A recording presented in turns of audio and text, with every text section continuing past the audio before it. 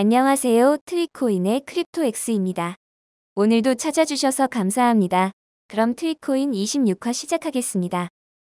첫 번째 소식입니다. 비탈릭 부테린 이더리움 창시자가 지난 5일 트위터를 통해 이더리움 scaling 관련 중 단기 플랜을 소개했습니다. 원래 이더리움 2 로드맵은 3단계로 이뤄집니다. Phase 0, 포스 Phase 1 데이터 sharding Phase 2 sharding된 transaction 처리입니다. sharding이란 하나의 거대한 데이터베이스나 네트워크 시스템을 여러 개의 작은 조각으로 나누어 분산 저장하여 관리하는 것을 말합니다.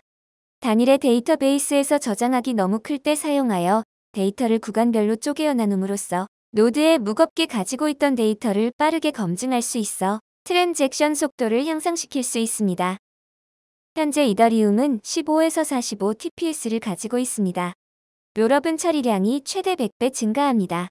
sharding은 최대 64배 증가합니다. 이 두 stack은 곱셈으로 적용됩니다. sharding과 rollup을 동시 적용하면 최대 6400배 빨라지는 것입니다. 비탈릭은 로드맵에 의도치 않은 흥미로운 결과가 있다면서 sharding 된 애플리케이션 자체에는 Phase 2가 필요합니다. 다만 sharding 플러스 rollup은 계산이 아닌 데이터에만 체인을 사용하기 때문에 Phase 1에서만 필요합니다.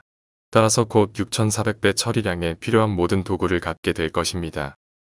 라고 말했습니다. 비탈릭은 Phase 1에서 sharding과 rollup을 통해 엄청난 속도 향상이 가능하며 sharding은 취소되지 않습니다. 라고 밝혔습니다. 이어 가능한 빠르게 rollup하세요. 이더리움 2 없이도 100배 빨라집니다. 라고 덧붙였습니다. 두 번째 소식입니다.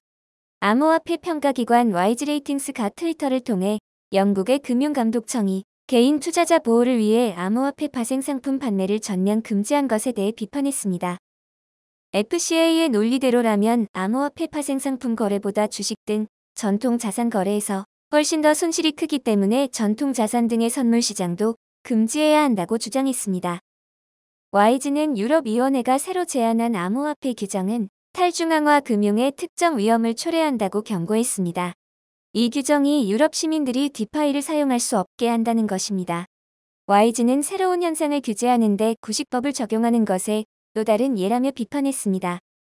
지난 6일 영국의 금융감독청은 암호화폐 파생 상품이 가격의 극심한 변동성으로 인해 소매 투자자들에게 적합하지 않다면서 소매 투자자들이 이러한 상품에 투자할 필요성을 정당화할 수 없다는 이유를 밝혔는데요.